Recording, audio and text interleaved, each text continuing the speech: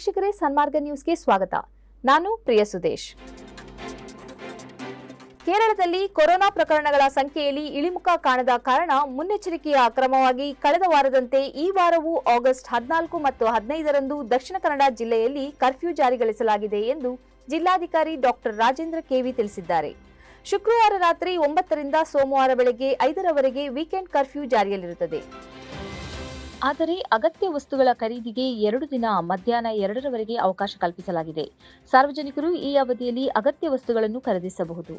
ವಾರಾಂತ್ಯ curfew ವೇಳೆ ಯಾವುದೇ ವಾಣಿಜ್ಯ ಚಟುವಟಿಕೆಗಳಿಗೆ ಅವಕಾಶವಿಲ್ಲ. ಅಲ್ಲದೆ ಶನಿವಾರ ನಡೆಸಲು ಉದ್ದೇಶಿಸಲಾಗಿದ್ದ ಮಂಗಳೂರು ವಿವಿ ಪದವಿ ಪರೀಕ್ಷೆಯನ್ನು ಕೂಡ ಮುಂದೂಡಲಾಗಿದೆ. ರವಿವಾರ ಸ್ವಾತಂತ್ರ್ಯವನ್ನು ಸರಳವಾಗಿ ಆಚರಿಸಲು ನಿರ್ಧರಿಸಲಾಗಿದೆ ಎಂದು ಜಿಲ್ಲಾಧಿಕಾರಿ ತಿಳಿಸಿದ್ದಾರೆ. ಈ ಬಾರಿ ಸರ್ಕಾರ ಪ್ರಕಟಿಸಿದ ದ್ವಿತೀಯ ಪಿಯು ಫಲಿತಾಂಶವನ್ನ ಹದಿನೆಂಟು ಸಾವಿರದ ನಾನೂರ ಹದಿನಾಲ್ಕು ವಿದ್ಯಾರ್ಥಿಗಳು ತಿರಸ್ಕರಿಸಿದ್ದಾರೆ. ಈ ವಿದ್ಯಾರ್ಥಿಗಳು ಆಗಸ್ಟ್ ಹತ್ತೊಂಬತ್ತರಿಂದ ಸೆಪ್ಟೆಂಬರ್ ಮೂರರವರೆಗೆ ನಡೆಯುವ ದ್ವಿತೀಯ ಪಿಯುಸಿ ವಾರ್ಷಿಕ ಪರೀಕ್ಷೆಗಳಿಗೆ ಹಾಜರಾಗಲಿದ್ದಾರೆ ಎಂದು ಪ್ರಾಥಮಿಕ ಮತ್ತು ಪ್ರೌಢಶಿಕ್ಷಣ ಸಚಿವ ಬಿಸಿ ನಾಗೇಶ್ ತಿಳಿಸಿದ್ದಾರೆ. ಪರೀಕ್ಷಾ ಸಿದ್ಧತೆ ಕುರಿತು ವಿಧಾನಸೌಧದ ತಮ್ಮ ಕಚೇರಿಯಲ್ಲಿ ಶುಕ್ರವಾರ ಇಲಾಖೆಯ ಹಿರಿಯ ಅಧಿಕಾರಿಗಳ ಜತೆ ಸಭೆ ನಡೆಸಿದ ಬಳಿಕ ಸುದ್ದಿಗೋಷ್ಠಿಯಲ್ಲಿ ಸಚಿವರು ಈ ಬಗ್ಗೆ ಮಾಹಿತಿ ನೀಡಿದರು. ಐದು ಸಾವಿರದ ಐನೂರ ನಲವತ್ನಾಲ್ಕು ಕಾಲೇಜುಗಳ ಒಟ್ಟು ಹದಿನೆಂಟು ಸಾವಿರದ ನಾನೂರ ಹದಿನಾಲ್ಕು ವಿದ್ಯಾರ್ಥಿಗಳು ಪರೀಕ್ಷಾ ಫಲಿತಾಂಶವನ್ನು ತಿರಸ್ಕರಿಸಿದ್ದಾರೆ. ಪರೀಕ್ಷೆ ಬರೆಯಲಿಚ್ಛಿಸಿರುವ ಈ ವಿದ್ಯಾರ್ಥಿಗಳಿಗೆ ನೂರ ಎಂಬತ್ತೇಳು ಕೇಂದ್ರಗಳಲ್ಲಿ ವಾರ್ಷಿಕ ಪರೀಕ್ಷೆ ನಡೆಸಲಾಗುವುದು ಎಂದರು. ಪರೀಕ್ಷಾ ಸಿದ್ಧತೆಗಳನ್ನು ಆಗಸ್ಟ್ ಹದಿನೇಳರೊಳಗೆ ಪೂರ್ಣಗೊಳಿಸುವಂತೆ ಎಲ್ಲಾ ಜಿಲ್ಲಾಧಿಕಾರಿಗಳಿಗೆ ನಿರ್ದೇಶನ ನೀಡಲಾಗಿದ್ದು ಅತ್ಯಂತ ವ್ಯವಸ್ಥಿತವಾಗಿ ಮತ್ತು ದೋಷರಹಿತವಾಗಿ ಪರೀಕ್ಷೆ ನಡೆಸಲು ಕ್ರಮ ಕೈಗೊಳ್ಳಲಾಗಿದೆ. ಪರೀಕ್ಷಾ ಕೇಂದ್ರಗಳ ಸುತ್ತಲಿನ ಇನ್ನೂರು ಮೀಟರ್ ಪ್ರದೇಶದಲ್ಲಿ ನಿಷೇಧಾಜ್ಞೆ ಜಾರಿಗೊಳಿಸಲಾಗುವುದು ಎಂದು ಶಿಕ್ಷಣ ಸಚಿವರು ತಿಳಿಸಿದರು. ಉಳ್ಳಾಲದ ಮಾಜಿ ಶಾಸಕ ದಿವಂಗತ ಬಿಎಂ ಇದಿನಬ್ಬರ ಮನೆ ಮೇಲೆ ಎನ್ಐಎ ದಾಳಿ ನಡೆದ ಬಳಿಕ ವಿಶ್ವ ಹಿಂದೂ ಪರಿಷತ್ ಕಾರ್ಯಕರ್ತರು ಮುತ್ತಿಗೆ ನಡೆಸಿರುವ ಬಗ್ಗೆ ಆಕ್ರೋಶ ವ್ಯಕ್ತಪಡಿಸಿರುವ ಶಾಸಕ ಯುಟಿ ಖಾದರ್, ನಿಮಗೆ ಸಾಧ್ಯವಾದರೆ ಲವ್ ಜಿಹಾದ್ ವಿರುದ್ಧ ಕಾನೂನು ತರಲು ಉಪವಾಸ ಮಾಡಿ ಎಂದು ಸವಾಲೆಸೆದಿದ್ದಾರೆ. ಇದಿನಬ್ಬರ ಮೊಮ್ಮಗ ಮಡಿಕೇರಿ ಮೂಲದ ಬಂಟ ಸಮುದಾಯದ ಯುವತಿ ಮರಿಯಂ ಆಲಿಯಾಸ್ ದೀಪ್ತಿ ಮಾರ್ಲಾ ಎಂಬಾಕೆಯನ್ನು ಲವ್ ಜಿಹಾದ್ ನಡೆಸಿ ವಿವಾಹ ಮಾಡಲಾಗಿದೆ. ದೀಪ್ತಿ ಮಾರ್ಲಾ ಸೇರಿ ಇಡೀ ಕುಟುಂಬದ ವಿರುದ್ಧ ತನಿಖೆ ನಡೆಸಬೇಕು ಎಂದು ವಿಎಚ್ಪಿ ಆಗ್ರಹಿಸಿತು ಈ ವಿಚಾರವಾಗಿ ಮಾಧ್ಯಮಗಳಿಗೆ ಪ್ರತಿಕ್ರಿಯಿಸಿದ ಮಾಜಿ ಸಚಿವ ಯುಟಿ ಖಾದರ್, ಆ ಮನೆಯ ಯುವತಿಯ ಬಗ್ಗೆ ಕೇಳೋಕೆ ಈ ಸಂಘಟನೆಯವರು ಯಾರು? ಅವರ ತಂದೆ ತಾಯಿ ಬಂದು ಏನಾದರೂ ಪೊಲೀಸರಿಗೆ ದೂರು ನೀಡಿದ್ದಾರೆಯೇ? ಇದು ಅವರ ಮನೆಯವರಿಗೆ ಬಿಟ್ಟ ವಿಚಾರ. ನನ್ನ ಉಳ್ಳಾಲ ಕ್ಷೇತ್ರಕ್ಕೆ ಬಂದು ಹೊರಗಿನಿಂದ ಬಂದು ಲವ್ ಜಿಹಾದ್ ಎನ್ನುವ ಅಜೆಂಡಾ ಇಟ್ಟು ಪ್ರತಿಭಟನೆ ಮಾಡುತ್ತೀರಿ.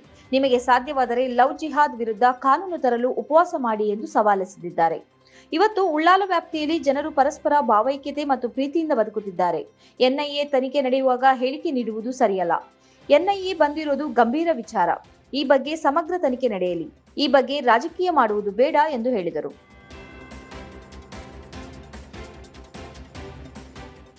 ಟೆಸ್ಲಾ ಮತ್ತು ಸ್ಪೇಸ್ ಸಿಇಒ ಆಗಿರುವ ಎಲನ್ ಮಸ್ಕ್ ವಿಶ್ವದ ಅತ್ಯಂತ ಶ್ರೀಮಂತ ವ್ಯಕ್ತಿಗಳಲ್ಲಿ ಒಬ್ಬರು. ಅವರು ಮನಸ್ಸು ಮಾಡಿದರೆ ಜಗತ್ತಿನ ಎಲ್ಲಿ ಬೇಕಾದರೂ ಎಷ್ಟೇ ದೊಡ್ಡ ಬಂಗಲೆಯಲ್ಲೂ ವಾಸಿಸಬಲ್ಲಷ್ಟು ಹಣವಂತರು. ಆದರೆ ಅವೆಲ್ಲವನ್ನು ಬಿಟ್ಟು ಇಪ್ಪತ್ತೇಳು ಚದರ ಮೀಟರ್ನ ಸಣ್ಣ ಫ್ಲಾಟಿಗೆ ಅವರೀಗ ಶಿಫ್ಟ್ ಆಗಿದ್ದಾರೆ. ಟೆಕ್ಸಾಸ್ನ ಬೊಕಚಿಕದಲ್ಲಿರುವ ಮೂವತ್ತೇಳು ಚದರ ಮೀಟರ್ ಸ್ಪೇಸ್ ಪ್ರಧಾನ ಕಚೇರಿ ಬಳಿಯ ಅವರ ಚಿಕ್ಕ ಮನೆಯ ಬೆಲೆ ಐವತ್ತು ಸಾವಿರ ಡಾಲರ್ ಆಗಿದೆ. ಮಾಧ್ಯಮ ವರದಿಗಳ ಪ್ರಕಾರ ಮಸ್ಕ್ ಅವರು ಕ್ಯಾಲಿಫೋರ್ನಿಯಾದಿಂದ ನಿರ್ಗಮಿಸುವ ನಿರ್ಧಾರ ಮಾಡಿದ್ದು, ಅಲ್ಲಿದ್ದ ಆರು ಮ್ಯಾನ್ಷನ್ಗಳು ಸೇರಿದಂತೆ ಎಲ್ಲ ಭೌತಿಕ ವಸ್ತುಗಳನ್ನು ಮಾರಾಟ ಮಾಡಿದ್ದಾರೆ. ಬೊಕಚಿಕದಲ್ಲಿರುವ ಮನೆಯನ್ನು ನಾನು ಸ್ಪೇಸ್ ಎಕ್ಸ್ನಿಂದ ಬಾಡಿಗೆಗೆ ಪಡೆಯುತ್ತಿದ್ದೇನೆ. ಇದು ತುಂಬಾ ಅದ್ಭುತವಾಗಿದೆ. ಇದು ನನ್ನ ಪ್ರಮುಖ ಮನೆಯಾಗಿದೆ ಎಂದು ಟ್ವೀಟ್ನಲ್ಲಿ ಹೇಳಿದ್ದಾರೆ. ಸ್ಪಾನ್ಸರ್ನ ವಂಚನೆಯಿಂದ ಸರ್ವವನ್ನು ಕಳಕೊಂಡು ಅತಂತ್ರರಾಗಿದ್ದ ಇಬ್ಬರು ಉದ್ಯೋಗಿಗಳಿಗೆ ಸೌದಿಯಲ್ಲಿರುವ ಅನಿವಾಸಿ ಭಾರತೀಯರು ನೆರವಾಗಿದ್ದಾರೆ. ರಿಯಾದ್ನ ಸೂಪರ್ ಮಾರ್ಕೆಟ್ನಲ್ಲಿ ಉದ್ಯೋಗಿಯಾಗಿದ್ದ ಕೇರಳದ ಇಸ್ಮಾಯಿಲ್ ಮತ್ತು ತಮಿಳುನಾಡಿನ ಮುರುಗನ್ ರಘುರಾಮ್ ಎಂಬುವರ ಐದು ವರ್ಷಗಳ ಅತಂತ್ರ ಬದುಕಿಗೆ ಇವರು ನೆರವಾಗಿ ಅವರನ್ನು ಊರಿಗೆ ಕಳುಹಿಸಿದ್ದಾರೆ. ಲಕ್ಷ ರೂಪಾಯಿಯನ್ನು ಹೂಡಿಕೆ ಮಾಡಿ ಆರಂಭಿಸಿದ ತಮ್ಮದೇ ಸೂಪರ್ ಮಾರ್ಕೆಟ್ನಲ್ಲಿಯೇ ಇವರ ಕೆಲಸವಾಗಿತ್ತು. ಸೂಪರ್ ಮಾರ್ಕೆಟ್ ಅಭಿವೃದ್ಧಿ ಹೊಂದಿದಂತೆ ಸ್ಪಾನ್ಸರ್ ಸೂಪರ್ ಮಾರ್ಕೆಟ್ ಅನ್ನು ಬಲವಂತದಿಂದ ಪಡೆಕೊಂಡರಲ್ಲದೆ ಇವರನ್ನು ಹೊರಹಾಕಿದರು. ತಮ್ಮ ಸೂಪರ್ ಮಾರ್ಕೆಟ್ ಸ್ಪಾನ್ಸರ್ನ ಕೈವಶವಾಗುವುದರೊಂದಿಗೆ ಇವರಿಬ್ಬರೂ ಬೀದಿಗೆ ಬಿದ್ದರು. ಕಳೆದ ಐದು ವರ್ಷದಿಂದ ಊರಿಗೂ ಹೋಗಲಾರದೆ ಕಷ್ಟಪಡುತ್ತಿದ್ದ ಇವರಿಬ್ಬರು ಚಾರಿಟಿ ಆಫ್ ಪ್ರವಾಸಿ ಮಲಯಾಳಿ ಎಂಬ ಸೇವಾ ಸಂಘಟನೆಯ ಸಹಾಯವನ್ನು ಯಾಚಿಸಿದರು.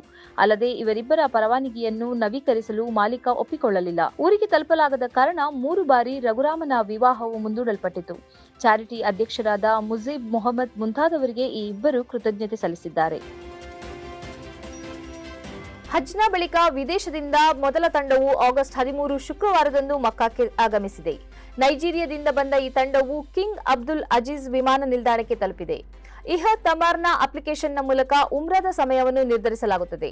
ಮಕ್ಕಾ ಮತ್ತು ಮದೀನಾದಲ್ಲಿ ಪ್ರತಿ ತಂಡಕ್ಕೂ ಸೇವೆಗಾಗಿ ಉಮ್ರಾ ಕಂಪನಿಗಳ ತಜ್ಞ ಸೇವಕರು ಸಿದ್ಧರಾಗಿರುತ್ತಾರೆ. ಎಲೆಕ್ಟ್ರಾನಿಕ್ ಪ್ಲಾಟ್ಫಾರ್ಮ್ಗಳ ಮೂಲಕ ಯಾತ್ರಿಕರಿಗೆ ವಿಮಾನ ಪ್ರಯಾಣ, ಹೋಟೆಲ್ಗಳು, ಊಟ ಇತ್ಯಾದಿ ಎಲ್ಲವುಗಳ ಪ್ಯಾಕೇಜ್ ಅನ್ನು ಪಡೆಯಬಹುದು.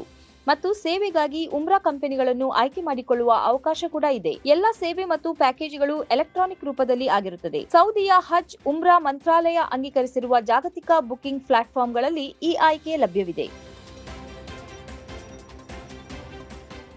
ಇದು ಈ ಹೊತ್ತಿನ ಸುದ್ದಿ ಸಂಚಯ. ನಿರಂತರವಾಗಿ ನೋಡ್ತಾ ಇರಿ ಸನ್ಮಾರ್ಗ ನ್ಯೂಸ್. ಸುದ್ದಿಗಳ ಸಂತೆಯಲ್ಲಿ ಸತ್ಯದ ಮೊಂಬತ್ತಿ. ಇಂತಹ ಹಲವು ಸುದ್ದಿ ಮಾಹಿತಿ ವಿಶ್ಲೇಷಣೆಗಾಗಿ ಸನ್ಮಾರ್ಗ ನ್ಯೂಸ್. ಸಬ್ಸ್ಕ್ರೈಬ್ ಮಾಡಿ, ನಿರಂತರ ನೋಟಿಫಿಕೇಶನ್ ಪಡೆಯಲು ಬೆಲ್ ಐಕಾನ್ ಒತ್ತಲು ಮರೆಯದಿರಿ.